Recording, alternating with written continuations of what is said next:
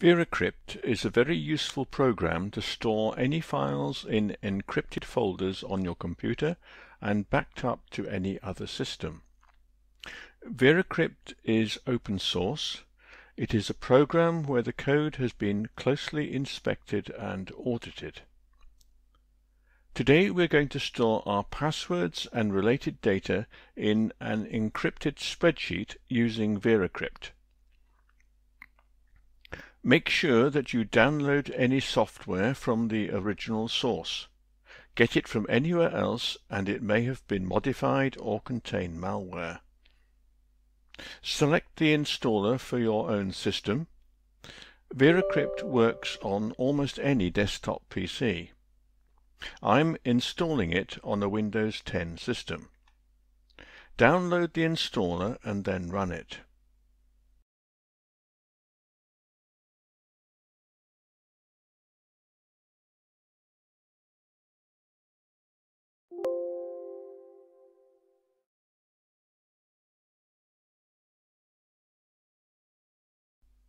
The download also suggests you view a very useful tutorial.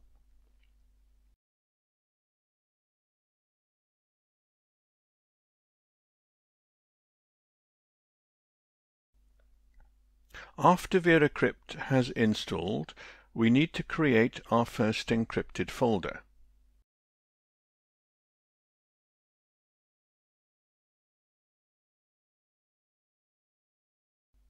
Select the path where you want the folder to be created and give it a new name.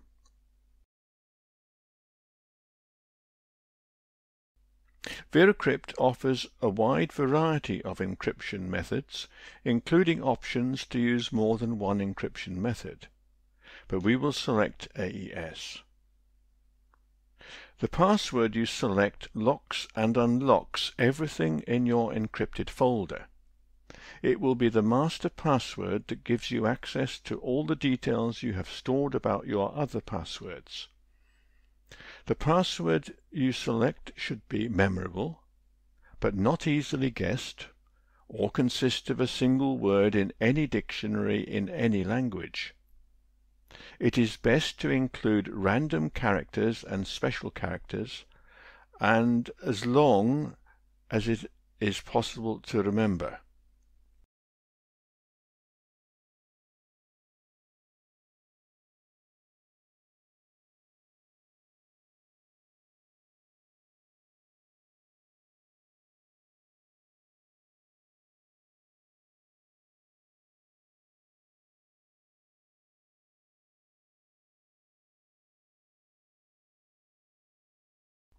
I'm using quite a short password here as a demonstration, and VeraCrypt warns me about this.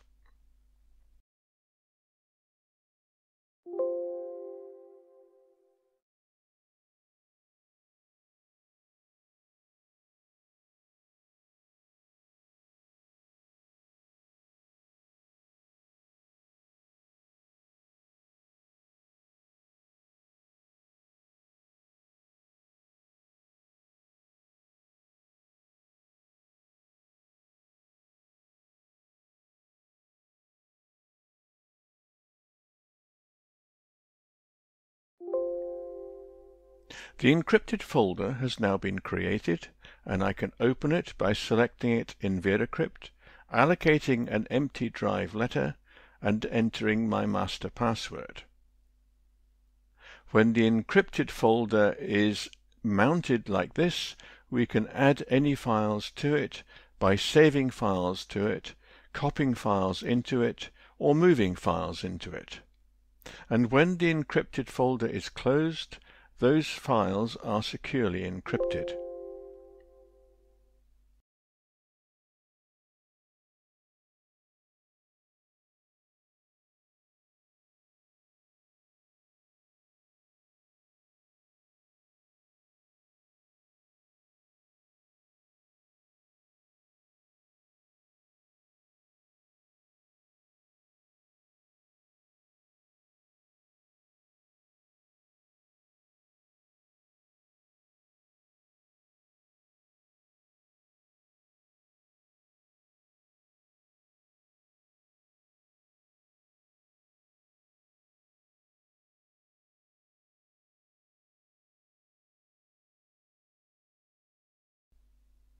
For the next stage of securely storing our passwords, we will use a spreadsheet.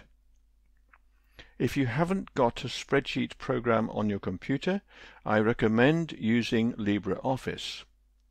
Don't use an online program like Google Docs that will store your data in the cloud. Again, if you're going to install a program, download it from the original source.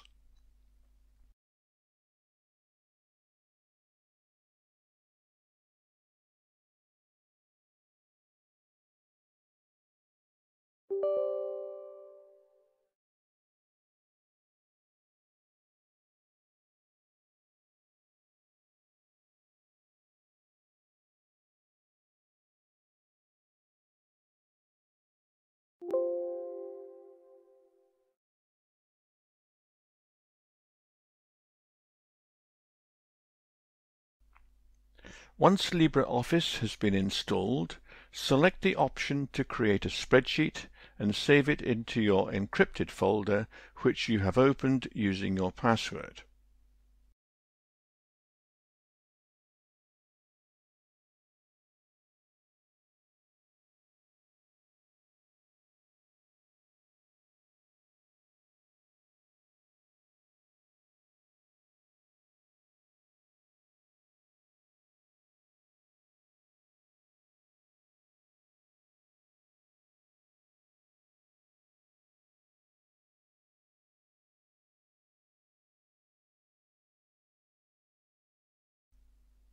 Next, we will set up the spreadsheet ready to hold our password data.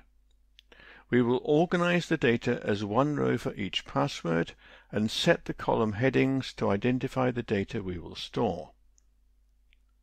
Create column headings for site, email, username, password, two-factor or mobile number, date of birth, and for some sites the date of birth can be made up.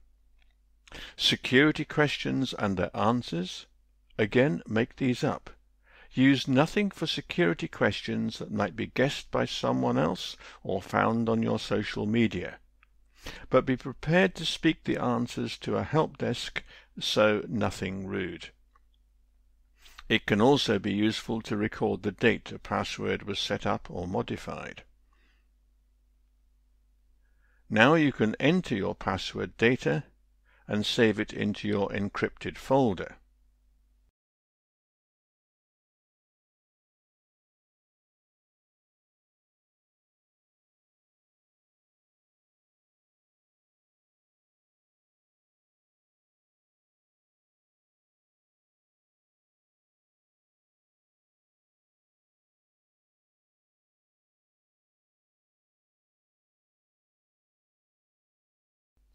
Save and close the spreadsheet.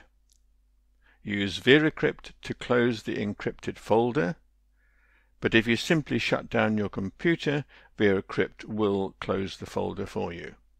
And your data is now safely encrypted.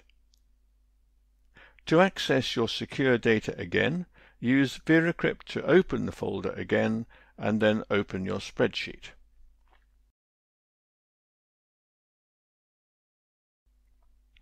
Once encrypted, you can back up your encrypted folder to a thumb drive or to a cloud store such as G Drive, OneDrive or Dropbox.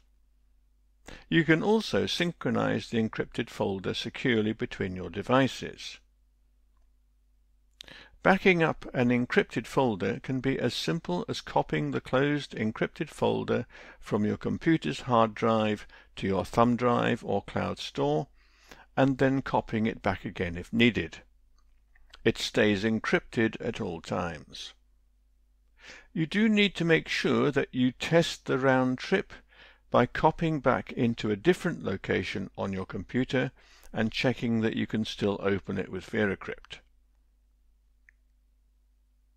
When you update files in your encrypted folder, you need to remember to repeat the backup process. It is a good idea not to simply overwrite your original backup. You could do this by renaming each backup by adding the date it was made to the file name of the encrypted folder on your backup system. Some cloud storage systems can be integrated with the folder that contains your encrypted folder on your computer so that the backup process is automatic. For example, if you've set up a Dropbox folder on your computer, you can keep your encrypted folder inside the Dropbox folder. You can also use rclone to automate the backup of your encrypted folder between your computer system and almost any cloud storage system. I hope that is useful. Thank you for watching.